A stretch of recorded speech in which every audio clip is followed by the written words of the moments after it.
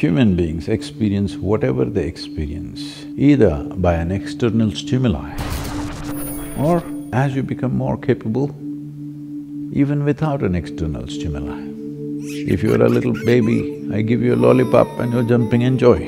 If you have matured, you must be able to be joyful without the lollipop.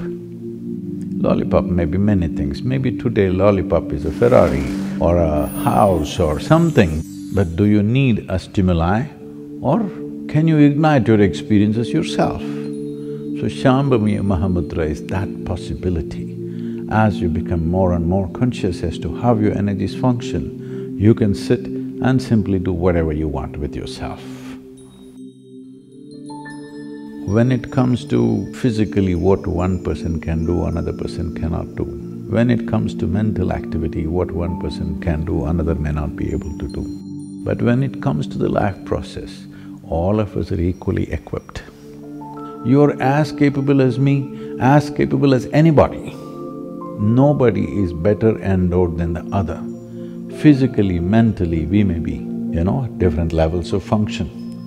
But as a life process, no one is better than the other. So what Shambhavi means is to make life process the front end of your life, not your body, not your mind, not your emotions.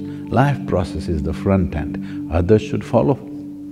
Whole life is constructed in such a way that life passes away trying to just fulfill the needs of the body and the needs of the mind and emotion.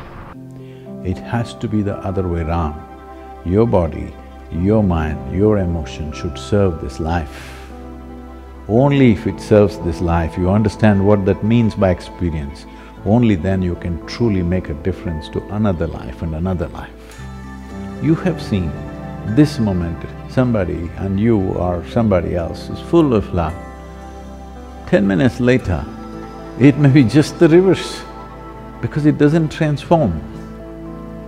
The activity of the mind, activity of the body and your emotion is essentially a distraction because essentially this is life. Everything else is subservient to that. Shambhavi Mahamudra is that possibility that you slowly turn this around.